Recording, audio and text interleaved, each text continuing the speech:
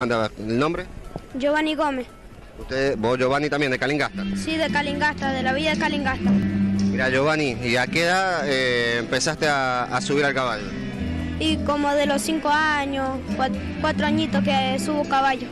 ¿Ah? ¿Y qué es lo que más te gusta hacer arriba del, de- del caballo? Andar, correr, jugar con los chicos. Y muchas cosas más me gustan. ¿Este es tuyo? No, me lo han prestado porque mi yegua tiene un potrillito y es muy chiquitito para traerlo. Ah, sos, sos tío, digamos. Sí, ¿Cómo se llama la, la yegua? Lucero.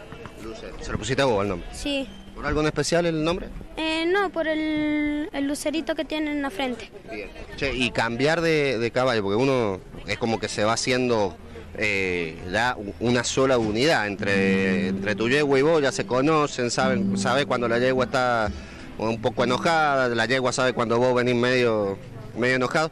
¿Cómo se hace cuando cambias un caballo distinto? ¿Cómo, cómo se, le, se, se le impone la, la presencia? Y eh, vamos hablando con la gente a ver si les gusta el animal, todo eso, a ver si a nosotros también nos gusta, si es mansito. Todo eso se le ve en un caballo.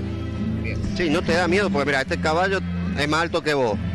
Eh, no, no hay miedo. No, no. Pero gracias a Dios es mansito. Bueno, muchas gracias, Giovanni. Muchas gracias a usted.